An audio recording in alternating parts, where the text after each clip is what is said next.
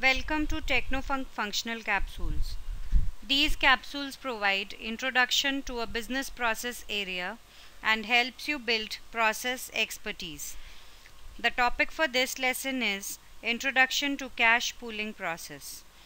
This topic discusses the meaning of cash pooling process and how this financial management strategy allows companies to maximize their cash positions and optimize the use of surplus funds. This video is brought to you by www.technofunc.com, a institute one of its kind that enables people, processes and technology. The learning objectives of this capsule are learn the meaning of cash pooling, understand why cash pooling is required, techniques of cash pooling, physical cash pool, zero balancing, notional cash pool, cross-border cash pooling, and cash pooling considerations. What is cash pool? Cash pooling is a financial management strategy that allows companies to maximize both their current credit and debit cash positions to optimize the use of surplus funds of all subsidiaries in a group in order to reduce external debt and increase the available liquidity. A cash pool is a group of bank accounts with multiple sub accounts whose balances have been aggregated in the concentration account for the purposes of optimizing interest paid or received and improving liquidity management. Why cash pool? Cash pooling enables corporate groups to minimize expenditure incurred in connection with banking facilities through economies of scale. Some benefits of cash pooling are listed below.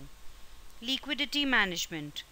Conglomerates need to juggle excess and deficit cash positions across multiple entities, regulatory environments, and currencies.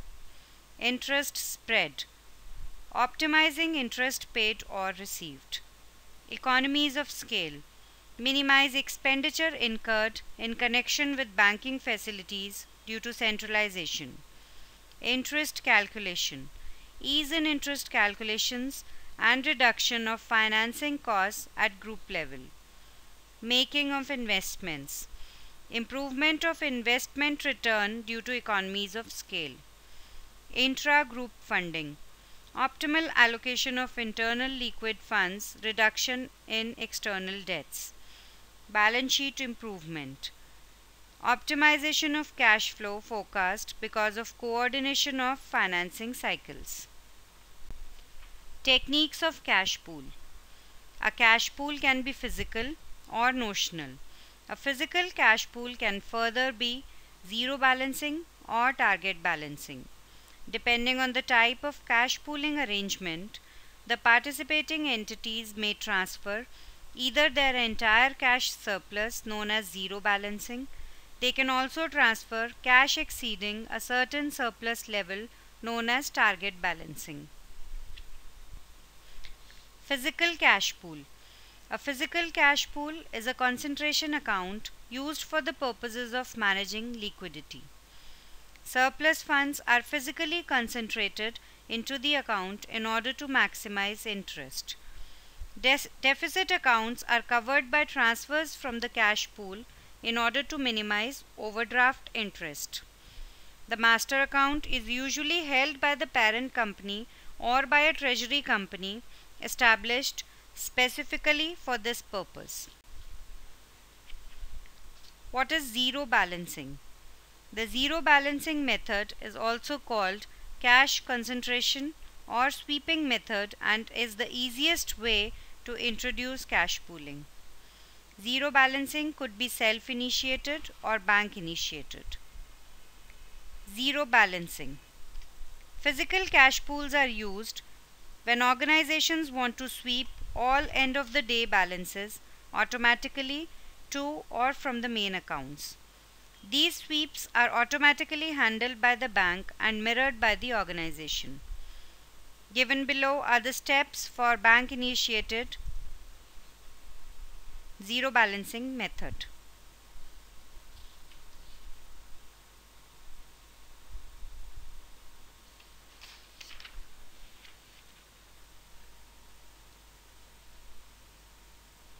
Enablers for zero balancing.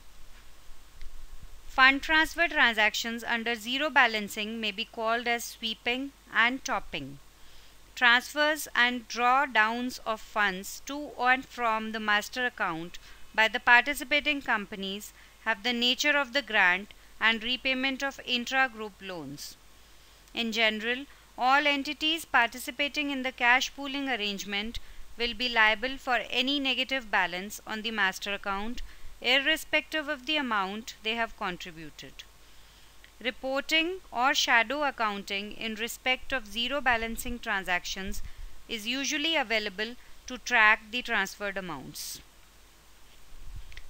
Zero balancing example. The participants conduct their daily commercial activity, paying and receiving funds using bank accounts that are part of the pool. At the close of each business day, all positive balances in the sub accounts are transferred to the header account and any sub account deficit positions are covered by funding from the header. Beginning cash position balances as on 31st March 2015.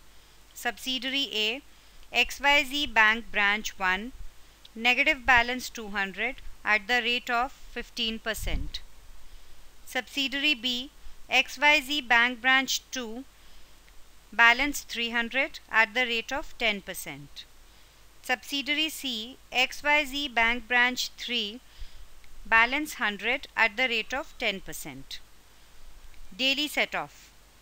Subsidiary A borrow from header negative 200 balance at 15% rate of interest. Subsidiary B lend to header 300 balance at rate of interest 10%. Subsidiary C lend to header balance 100 at rate of interest 10%. Cash pooled. Total available on 31st March balance 200. In this situation, there are three intercompany loans. B and C are in surplus and lend to the header. A is in deficit and borrows from the header. Balance netting. This is another arrangement to achieve cash pooling in an organization. The key aspects of this structure are only one company has a account. The top account is debited or credited through notional accounts. The top account the top account holder grants authorizations to other group companies to use the top account through a specific transaction account. The balance of the transaction account shows the debt relationship between the top account holder and the transaction account holder.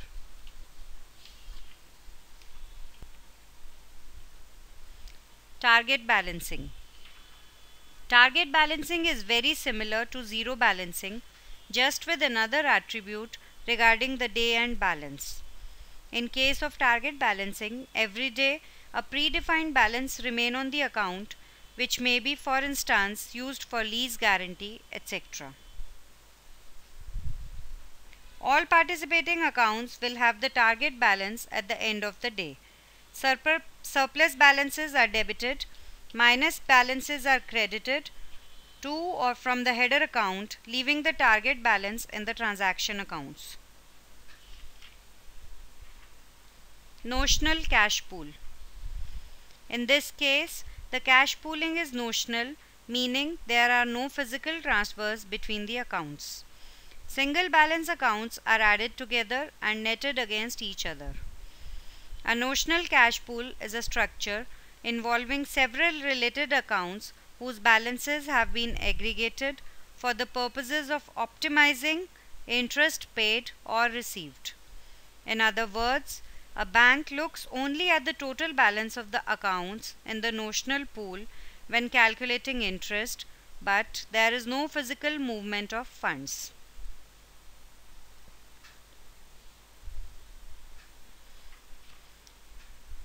Notional cash pooling will not result in the creation of intra-group loans since funds are not physically transferred. Notional pooling example. Notional pooling can be explained using the example of a hypothetical company that has four subsidiaries A, B, C, and D operating in India with INR as the functional currency. The credit interest rate offered by the Delhi branch of the bank is 10% and the debit rate of interest is 15%. Balances as on 31st March 2015. Subsidiary A XYZ Bank Branch 1 Balance credit 200 at the rate of 15%. Subsidiary B XYZ Bank Branch 2 Balance debit 300 at the rate of 10%. Subsidiary C XYZ Bank Branch 3 Balance debit 100 at the rate of 10%. Subsidiary D XYZ Bank Branch 4 Balance credit 100 at the rate of 15%. Traded separately. A pays 30, B earns 30, C earns 10 and D pays 15. Company's expenses 5. Cash pooled. Total available on 31st March is 100. A pays 20, B earns 30, C earns 10, D pays 10 and company earns 10.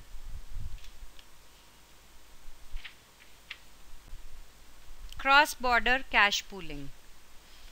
Physical pooling can be used across multiple legal entities located in the same or different countries but in the same currency. The funds movement between the participating entities is accounted for via intercompany loans. However, notional cash pooling can also be implemented across multiple currencies. Hybrid arrangements. Often, a company may have accounts in an excess cash position across various currencies and countries with a single bank. Hybrid arrangements can be entered with the bank with an objective of interest optimization. Cash pooling considerations. The specific structure of individual cash pooling arrangements can vary. For example, Transfers to the master account may be undertaken by each participating group member individually or may instead be undertaken automatically by the bank on the basis of a power of attorney given by the relevant group company. Some considerations while defining the cash pool arrangement are legal framework. A cash pooling arrangement must comply with the ca prescribed capital norms and resulting legal requirements of the country of registration or operations. Cash pooling agreement.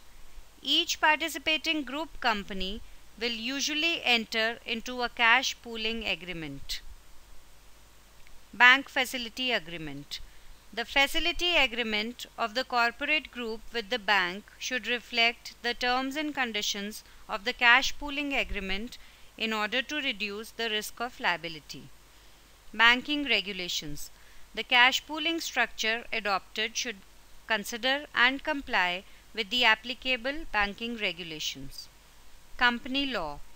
Similarly, the requirements arising from applicable company law of the country of operations must be considered in connection with cash pooling arrangements. Tax issues. Tax issues must also be carefully considered when structuring cash pooling agreements. In the case of physical cash pooling, interest may be payable on sums lent and borrowed by the participating companies. Cut-off times. Whether the physical pooling takes place within a single country or across border, the cut-off times for transactions is very important and it should not be a limiting factor to actual business operations. Bank charges. Actual cost of the transactions should be reasonable and should bring value to the enterprise by adapting to cash pooling arrangements.